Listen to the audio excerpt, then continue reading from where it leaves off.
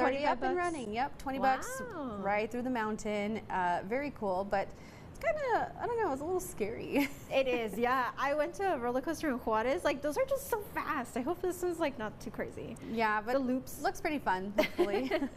but yes, gotta make it out there.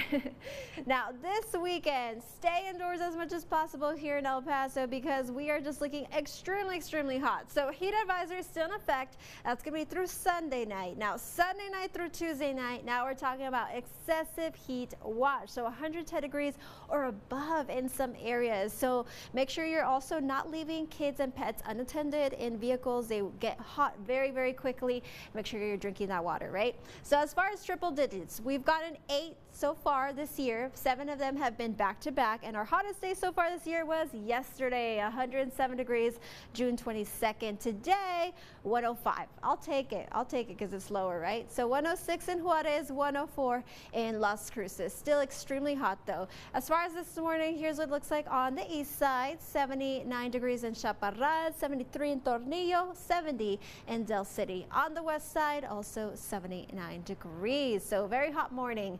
Now, as far as winds, they are calm right now, but it does seem like winds will be picking up pretty early for today. As soon as 9 a.m., we're going to be seeing 23 mile per hour gusts. Peak of those winds will be around 4 o'clock at 33 mile per hour gusts. So very windy day for today. Another round of hot winds. As for the next nine hours, we will be seeing those very clear skies for today, warming up to the 90s very, very quickly as soon as 10 a.m. And then we'll reach those triple digits by 3 o'clock. So here's what's going on.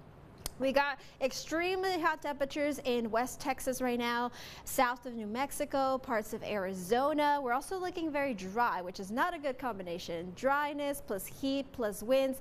We could potentially have some fire weather, so avoid any kind of grilling, any kind of barbecues, please, this weekend. Keep your Sunday fun days indoors. As far as storms, we're only tracking storms right now in the Texas Panhandle, which is pretty good because Austin was getting some serious humidity. Now, as far as the nine-day forecast, so check out Sunday, 108 degrees on Sunday, 109 on Monday. Mondays weren't bad enough as it is. Uh, 110 and Tuesday, 108 on Wednesday. Overnight lows getting as hot as 83 degrees now.